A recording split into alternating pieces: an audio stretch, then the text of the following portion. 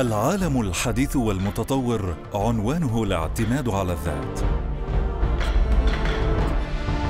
لهذا السبب ارتقينا بعملنا. وأوجدنا الفارق الذي يضمن لدولتنا حقيقة النهوض بواقعنا رغم التحديات. هذه الحقيقة جسدها صندوق الاستثمار الفلسطيني باعتباره رافعة رئيسية للاستقلال الاقتصادي منذ حوالي عقد من الزمن. نجح خلالها بإدارة أصوله وتنميتها وتحقيق عوائد مجزية مما مكنه من دفع أكثر من 928 مليون دولار إلى خزينة الدولة على شكل أرباح وضرائب ورسوم. في حين تم تعزيز أصول الصندوق لتصل إلى حوالي 800 بليون دولار في نهاية عام 2015 وقد التزم الصندوق بأن تكون معظم استثماراته ونشاطاته الاستثمارية داخل فلسطين حيث تجاوزت استثماراته داخل فلسطين 85%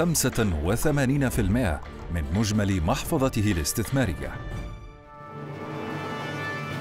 كما شكل انضمام الصندوق كعضو كامل في المنتدى الدولي لصناديق الثروة السيادية الذي أشرف على تأسيسه صندوق النقد الدولي شهادة فعلية على أعلى معايير وأسس النزاهة والشفافية ومفاهيم الحكم الرشيد التي تحكم عمله.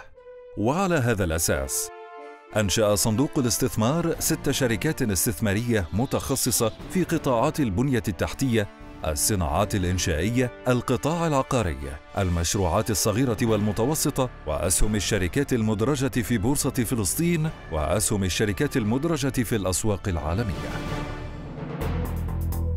وبهدف تحقيق أمن الطاقة لفلسطين، تقود شركة مصادر لتطوير الموارد الطبيعية ومشاريع البنية التحتية برنامجا كبيرا يهدف إلى تنفيذ مشاريع لتطوير البنية التحتية لدولتنا واقتصادنا. فإلى جانب مشاريع تطوير مصادر الطاقة التقليدية الوطنية كالغاز والبترول يسير العمل على قدم وساق من خلال شركة فلسطين لتوليد الطاقة للبدء بإنشاء محطة توليد للكهرباء في جنين شمال الضفة الغربية.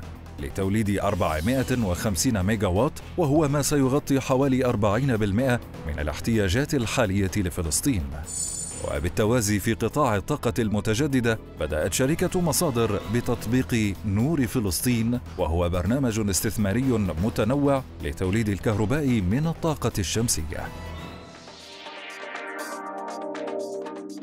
بصمة صندوق الاستثمار في مجال الإبداع العمراني والعقاري ماثلة للعيان بامتياز في شركة عمار العقارية واليوم وبكل فخر. نقدم من خلال عمار ضاحية الريحان النموذجية على مساحة 250 دنم وقد تعدت نجاحات الضاحية حقيقة بناء مئات الوحدات السكنية في ظل بنية تحتية وتخطيطية حديثة.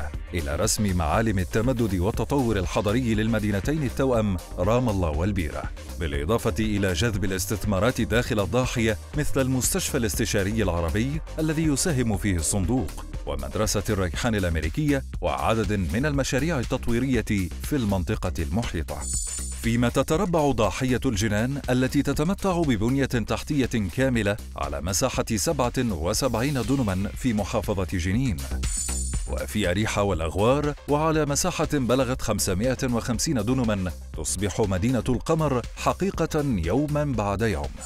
بالإضافة إلى تطوير منطقة أريحة الزراعية الصناعية والتي تضم كافة عناصر البنية التحتية اللازمة لتلبية الاحتياجات الزراعية والتجارية والصناعية.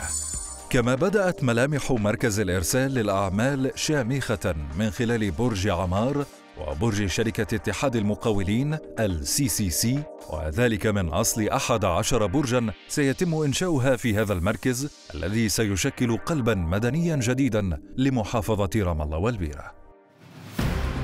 شركة سند للموارد الإنشائية.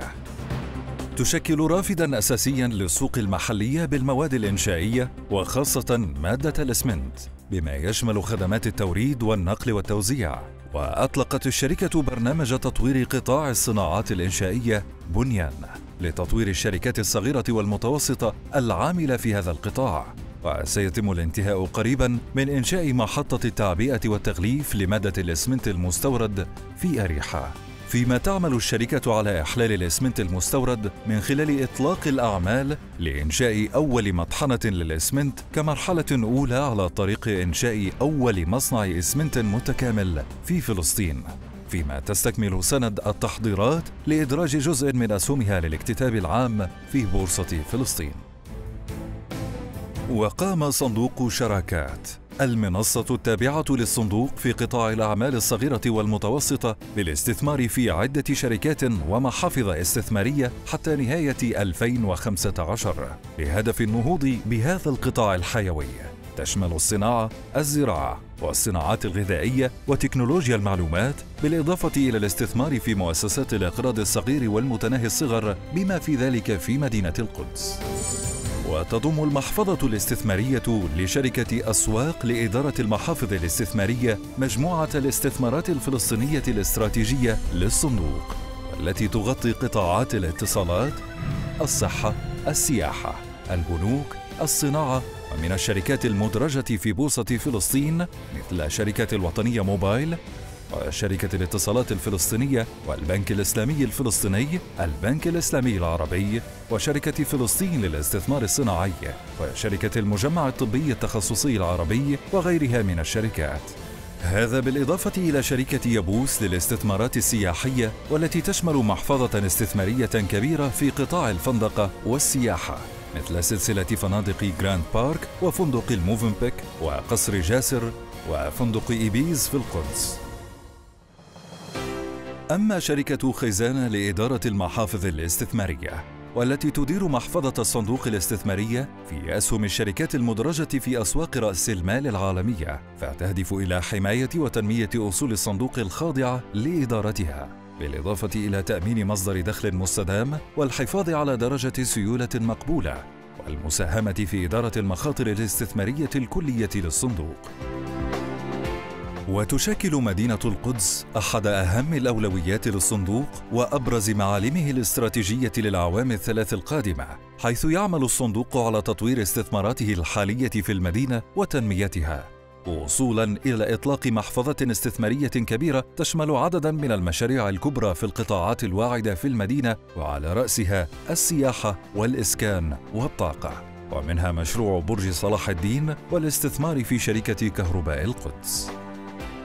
وللمسؤولية المجتمعية عنوان يتميز بالاستدامة والاستثمار المجتمعي في الإنسان الفلسطيني، وتقود هذه الجهود مؤسسة فلسطين للتنمية، والتي تدير اليوم برنامجا متكاملا للمسؤولية الاجتماعية والمبادرات، كبرنامج التمكين الاقتصادي للاجئين الفلسطينيين في لبنان، والذي قدم حتى الآن أكثر من ألفي قرض ميسر. وبرنامج منح القدس للمشاريع الصغيرة والمتوسطة الذي غطى أكثر من عشرين منشأة عاملة في المدينة المقدسة. وبرنامج الشباب الجامعي مشروع يبدأ بفكرة. كما يجري التحضير الآن لإطلاق برنامج إبدأ الذي يهدف إلى إيصال الشباب إلى مصادر لتمويل مشاريعهم الخاصة بما يشمل التدريب والتأهيل. صندوق الاستثمار الفلسطيني. لا نستثمر فقط. بل نشارك في بناء وطن قوي ومعتمد على الذات من خلال إنشاء مجموعة من الصروح الاستراتيجية في الاقتصاد الوطني. لذا نستطيع القول إن صندوق الاستثمار الفلسطيني أصبح وبفخر ركيزة أساسية لتجسيد دولة فلسطين المستقله على أرض الواقع ووصولا لغد الحرية. صندوق الاستثمار الفلسطيني نستثمر لمستقبل أبنائنا.